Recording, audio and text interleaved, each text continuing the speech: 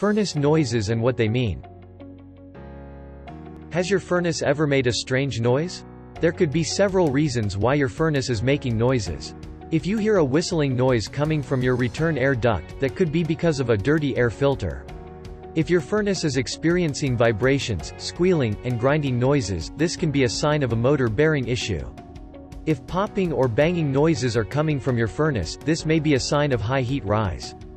Heat rise can lead to cracks and expansion within the heat exchangers, which can lead to a leak of CO in your home. If you are experiencing any of these furnace-related issues, make sure to call a technician to source and fix the problem. Another potential cause of strange noises is running your furnace without a filter.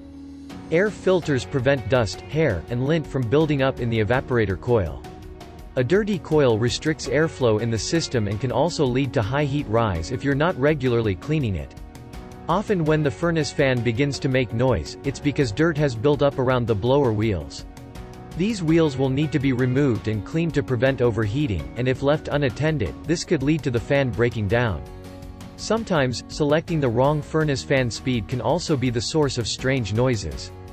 It's best practice to schedule a regular maintenance routine of your furnace to stop strange noises and ensure it is running smoothly. At Twintech, we specialize in heating and cooling units.